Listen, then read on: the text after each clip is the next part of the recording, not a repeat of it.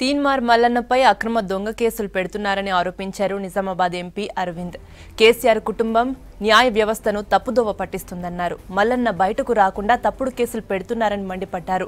కేటీఆర్కు దమ్ముంటే హుజురాబాద్లో కొట్లాడాలన్నారు. చెంచల్గూడ జైల్లో మల్లన్నను కలిశారు అరవింద్. కేసీఆర్కు త్వరలోనే బుద్ధి చెప్తామన్నారు. లీగల్ సిస్టమ్ని దుర్వినియోగం అన్ని రకాలుగా చేస్తున్నారు. ఈ కేటీఆర్ అనేటోడు ఆ కేటీఆర్ తోటి రాష్ట్రానికి ఒక్క నయా పైసా లాభం లేదు. ఇవాళ ఒక జర్నలిస్ట్ అరవై రోజుల నుంచి లోపట ఉన్నాడు.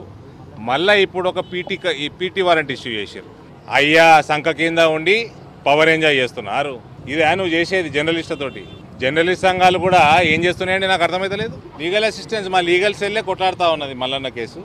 అన్ని కేసు అన్నిట్లో బెయిల్ వచ్చేసింది. ఒకటే కేసు మిగిలింది.